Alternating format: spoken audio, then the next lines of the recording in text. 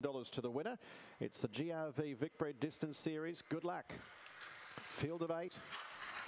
And they're racing at the 650 and off they go with Starburst Candy beginning well and the Black Jacket sails to the front and leads out by two over Donington Girl giving chase and then Riptide Rusley the favourite going up third. Three lengths Jesse Intention Tails of Woe to the outside from Soda Candy further back in the field in Arby's Lucy and Troy Intention drops out of it off the far side and here goes Riptide Rusley who sprints to the front and the favourite takes off goes four or five clear over Donington Girl in Tails of Woe. Soda Candy behind behind those with Starburst Candy, but in the straight, Riptide Rusley led. The only danger is Donington Girl, but it's Riptide Rusley. Rich payday. Riptide Rusley wins it over Donington Girl. Soda Candy or Starburst Candy for a third and fourth, and further back Tails of Woe in a bunch which included Troy Intention, Jesse Intention, Arby's Lucy, 37.59, and the favourite gets it done in the GRV Vicbred Distance Series.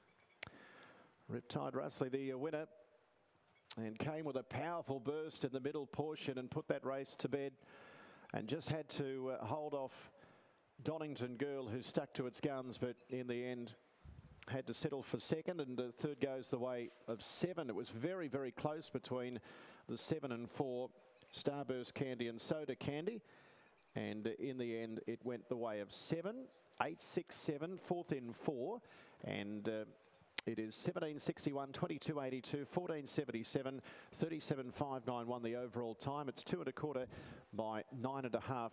And a victory there to Riptide Rusley. That's um, uh,